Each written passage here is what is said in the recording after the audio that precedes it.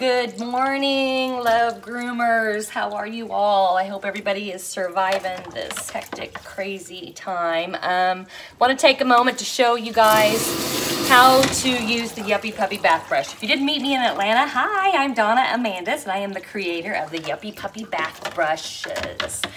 This is the original.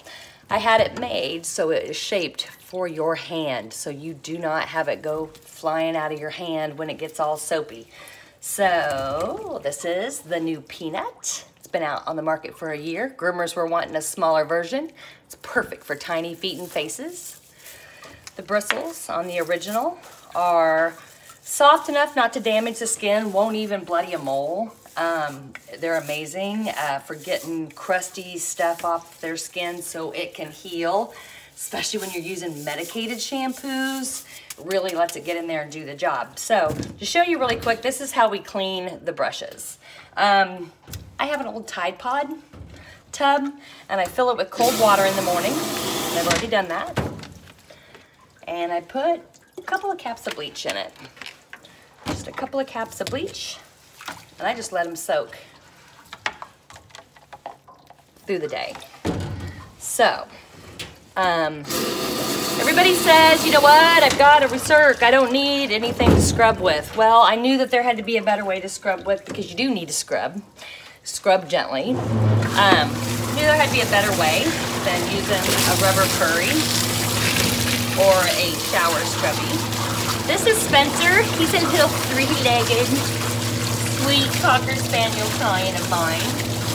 As you know, Cocker Spaniel's ears are very thick. This is one of my favorite uses for the brush. Not that I don't use it on every single dog and cat that I groom. Excellent for cats. Gets that crusty, greasy stuff off their skin. Um, horses, bunnies, pigs, Got a, yep, got a groomer friend who uses it on her pig and loves it. Um, but they work amazing on just about anything with fur. So, I have Spencer wetted down with my Recirc. Give this a quick, brush a quick rinse off out of the bleach water.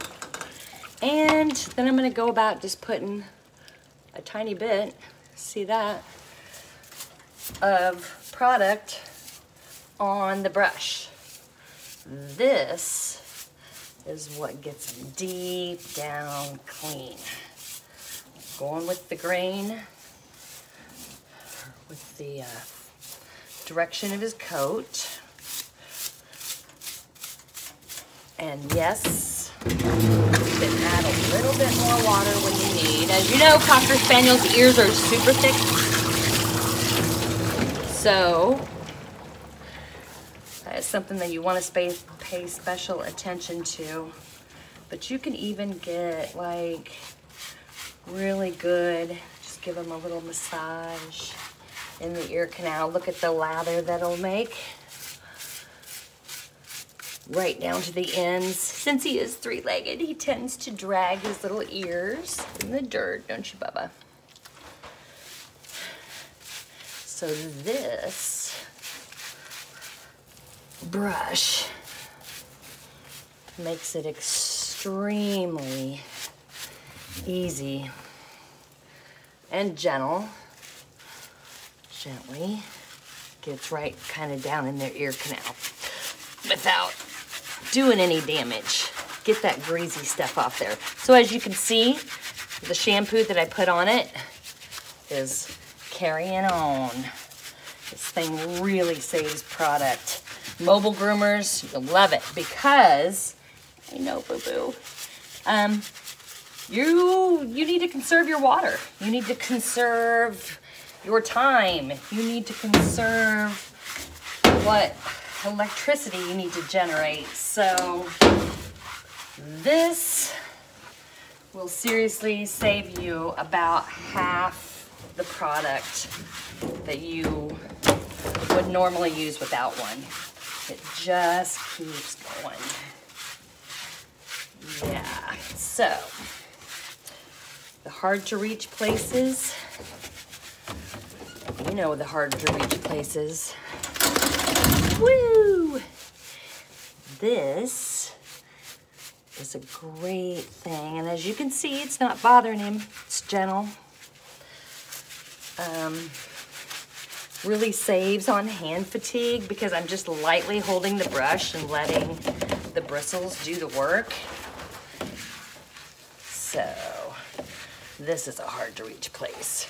As you can see, it's coming right out the other side. You can't do that with your fingers. It doesn't work as well anyway. So that is that's the original Yuppie Puppy. Now the reason why we created the little baby brush, the peanut, is like I said, groomers wanted a smaller one. Um, for tiny feet and faces, people with small hands, it will get right where you want to go, especially on Shih Tzus that you know you don't have much room between that little nose and their eyes. So it's going to go through, like I said, they both do. They go through and they pull out any debris. It's awesome for bringing stick tights to the surface. We'll have those clients, you don't want to have to pick it out, but it brings it right to the surface, and most of the time they just rinse away.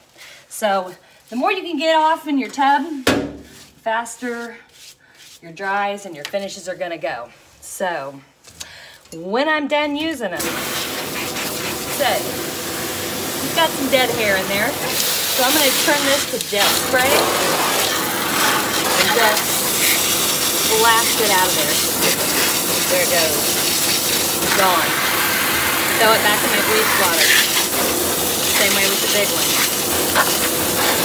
Blast it out of there. If you don't have that capability on your fresh water, just use a comb. It's fine.